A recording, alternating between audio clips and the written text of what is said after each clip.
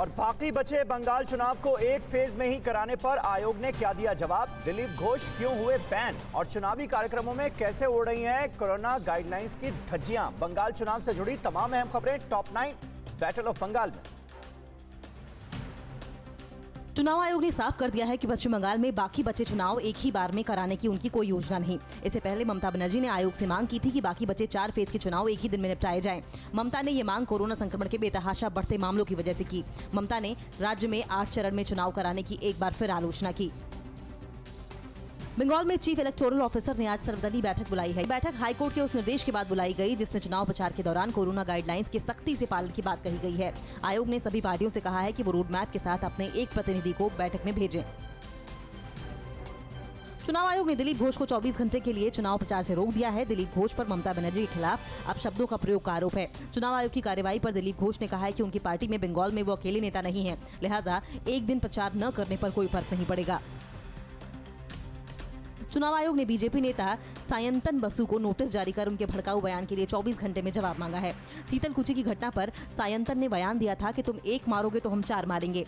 सायंतन ने यह भी कहा था कि आप ज़्यादा खेला करने की कोशिश मत करिए, वरना हम भी शीतल कुची का खेल कर खेलेंगे।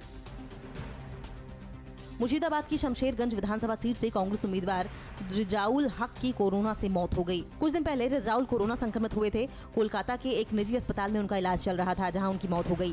बंगाल कांग्रेस के सचिव रोहन मित्रा ने ट्वीट कर इसकी जानकारी दी और कहा है कि हम जिस वास्तविकता का सामना कर रहे हैं, उसको समझिए, इस साल ज़िंदा बचिए।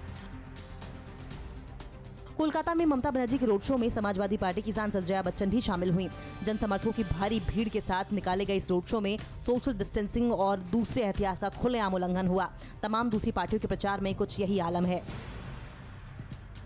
बीरभूम में बीजेपी प्रत्याशी जगन्नाथ चट्टोपाध्याय पर हमला किया गया है। आरोप है कि यह हमला टीएमसी समर्थकों ने किया है। हमले की घटना के बाद जगन्नाथ चट्टोपाध्याय ने कहा है कि ऐसी चीज़ों से बीजेपी के कार्यकर्ताओं का हौसला टूटने वाला नहीं है।